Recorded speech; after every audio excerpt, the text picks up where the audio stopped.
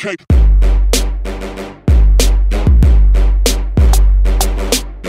guys, how's it going? It's Matt from Fidelity Gaming TV, and welcome to another episode of your Minnesota Twins Out of the Park Baseball franchise here on OOTP 16. Man, that is a mouthful.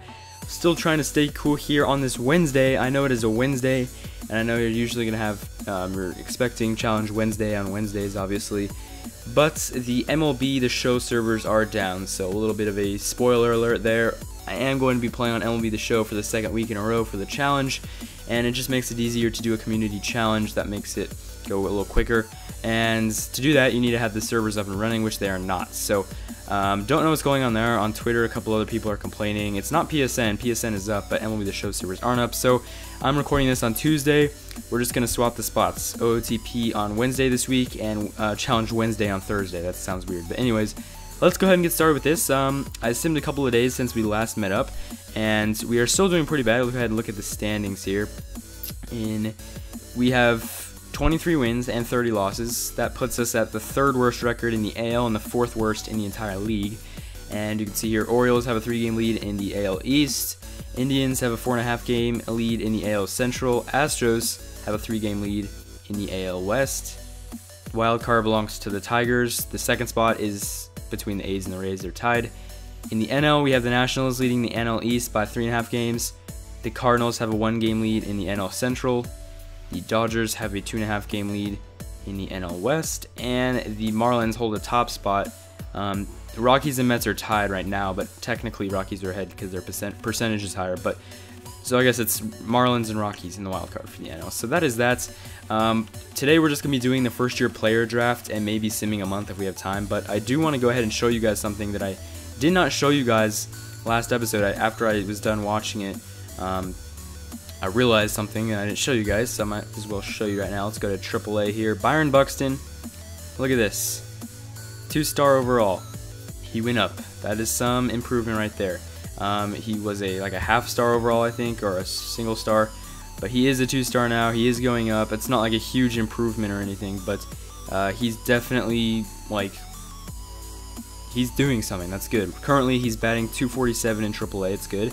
And uh, let's see, 18 RBIs, 19 walks, 43 strikeouts, 12 stolen bases, got caught once. That's all right. With four doubles, no triples though, and two homers. So uh, actually, his expectation is to be playing in the majors. So we'll see.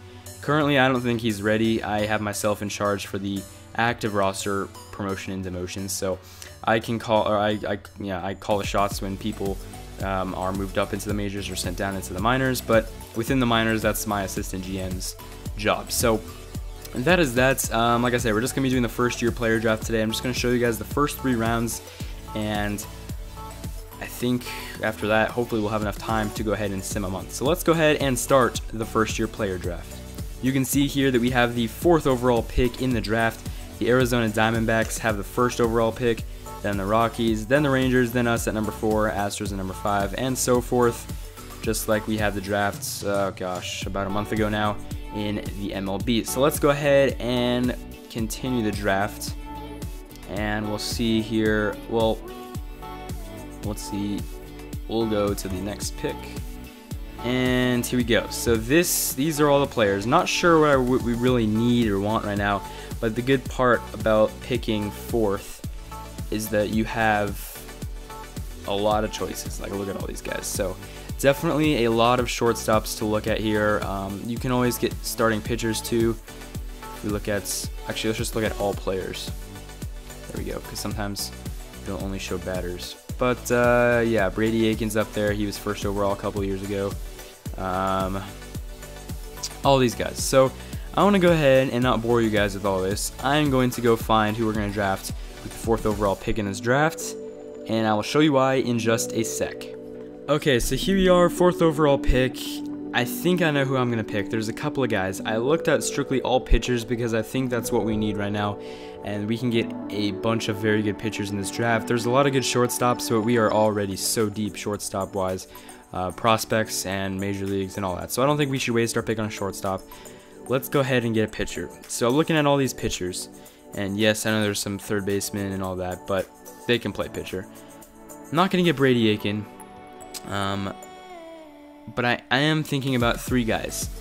This guy, Kolby Allard, he is 17 years old, out of high school. He's very young. That's the only thing. You can see that the head scout actually rates him a little higher. Stamina is good. All his pitching ratings have such high potentials. Projected to be a starter, obviously. Um, this guy, Walker Buehler, he also looks good. Also a starter or projected to be a starter. Good infield arm. Not as good potential-wise as um, Allard, but he still looks pretty good. And then also this guy down here, Donny Everett. This guy is a four and a half star.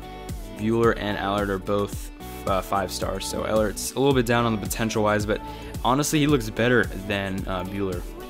His ratings look a little better, especially with the defensive ratings. They look good too, as well as the stamina. So I was kind of deciding between Donny Everett, which I just exited out of this. I'm stupid. And um, Allard. I really don't know which one I should pick. I really don't. But I think we're to go with Allard here. I think this is the one.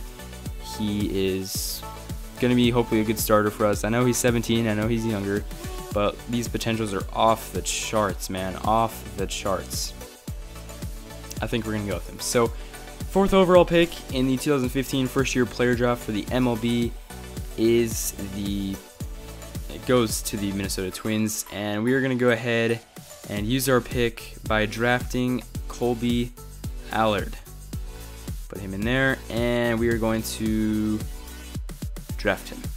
Okay, so the next draft pick we have is the fourth uh, pick in the second round, and I think we're going to select Chandler Day here. He looks like a good pitcher, 6'3", 160s, 18, coming out of high school. I know he just picked two people out of high school, but right now these guys look really good. He still is extremely hard to sign, but so is Allard, and they usually say that, and you can still sign him. So I'm not worried about that, but the OSA ratings and the head scout ratings are really good. This guy looks too good to pass up, and um, actually OSA has him at a five-star potential. Our head scout has, has him at uh, four and a half. So sacrifice bunt is good. He's projected to be a starter, and his potentials look pretty good. So I think we're gonna go ahead and draft him. And even though it says um, extremely hard. I still think that we can go ahead and do it. So we're to go ahead and draft Chandler Day. Alright, so the next pick in the draft, which is going to be the last one I'll show you, we're, I think we're going to pick up Christopher Chatfield here. He's a right fielder, also out of high school. I hate picking people out of high school, especially this many, but um, he's easy to sign, and it seems like low risk. Um, a lot of these guys would be like 4.5 star, 5 star potential, for our head scout and then you go to OSA and it'd be like a one or a two star potential. So it's really just either all or nothing here. This guy for a third round pick kind of looks, you know, most of my guys have been balanced and I think we're, if we're going to keep along these same um, traits, then he has it. Head scout rates him at a four star potential and then a three for OSA. So we got to put our faith into the head scouts here. Hopefully they can get us um, a good player here. It is third round, so it's okay if he's a bust, but um, you know, you still would like to get something is, you know, if, if you get a steal, that'd be awesome. So his defensive ratings look good. He's got some good contact, some pretty good gap power too, or at least potential for gap power. Um, as far as other ratings go, uh, they're just average. Um, but yeah, basically we're getting him for his defensive ratings and pretty decent batting ratings. So I think we're to go here and pick up Christopher Chatfield um, once we find him here on this list. And that'll be it for the first year player draft as we'll draft him and that is that. Let's go back to the home screen. Alright, so that's going to do it for today's episode. I hope you guys enjoyed. Sorry it was on a Wednesday, not on a Thursday, but uh, for those of you that follow the series, I'm sure you're glad. Tomorrow will be a Challenge Wednesday, Thursday, if that makes sense. And until uh, Sunday, I will see you guys on this game again on Sunday. I will see you tomorrow with Challenge Wednesday. Other than that, make sure to go ahead, click that like button, keep the series going. Make sure to check out our channels. Make sure to subscribe. And as always, P-E-A-C-E, peace.